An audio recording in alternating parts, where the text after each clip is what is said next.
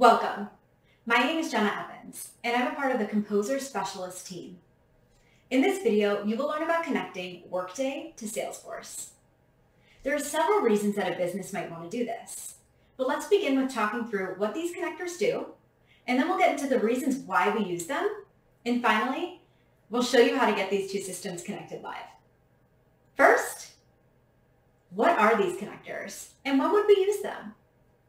In general, you use connectors in Composer to integrate with data and systems that you want to connect. They are pre-built, easy to use, and abstract away the technical details involved when connecting two target systems. You would use the Workday connector when you want to automate employee information into Salesforce or another target system. And in this video, you'll hear me talking about flows. And that's because once connected, data in Workday will flow to data in Salesforce through these connectors. So in what situation might you want to build a flow with these two particular systems, Workday and Salesforce?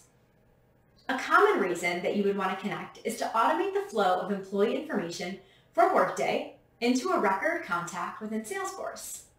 And we're going to use Northern Trail Outfitters, a retailer, to show you what this might look like live. The HR team at Northern Trail Outfitters, or NTO, uses Workday to maintain and manage employees and the sales team at NTO uses Salesforce to maintain and manage their contacts. But NTO wants to ensure that every time a new employee record is added to Workday, that same employee information is added as a contact in Salesforce. And to eliminate the manual tasks that the HR and sales teams are currently performing, they want to achieve a near real-time integration. So NTO will use MuleSoft's Composer to create that integration and automatically sync employees in Workday with contacts in Salesforce. Specifically, the example flow will perform the following tasks. Find a new employee that's created in Workday and create a new contact with the same employee information in Salesforce. So let's see what this looks like live. Here is where you will create a new flow. Start the flow by adding a new connection. Here you can see all of the systems that you can connect to and pull data from. In this case, we'll need to authenticate into Workday where the information about the new employee will live. You do this by creating a connection that you will be able to reuse in later flows. This lands you in the canvas, and you're ready to start.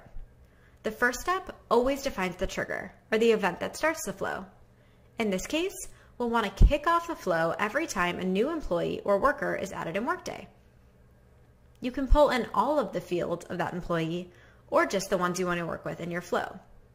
In this case, I'm selecting first and last name, phone number, email address, and business title. And by checking the sample outlet on the right, you can ensure that you've selected all the fields that you wanted. Now you'll build out the next step in your flow. Here you will define the target system, and in this case, Salesforce, so we can automate the process of importing new employees as contacts.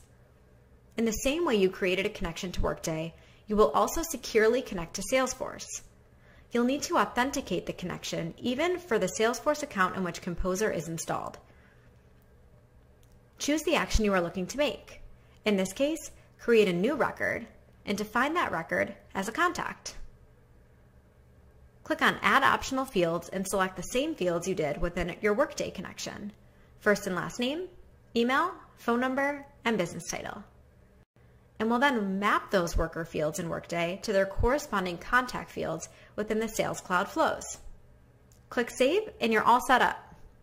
But before activating your flow, make sure you test it to see that there are no errors and that how you configured it is running properly. So let's put it in test mode. Then I'll go off and I'll add a new employee into Workday. This is the event that's going to trigger my flow. And in this case, it's Max the Mule. Now we can swap over to my contacts tab in Salesforce. And voila! I see Max the Mule was added as a new contact in Salesforce with his name, email address, phone number, and business title. Now your flow is ready to activate. To recap, in this example, you used out-of-the-box connectors for Workday and Salesforce.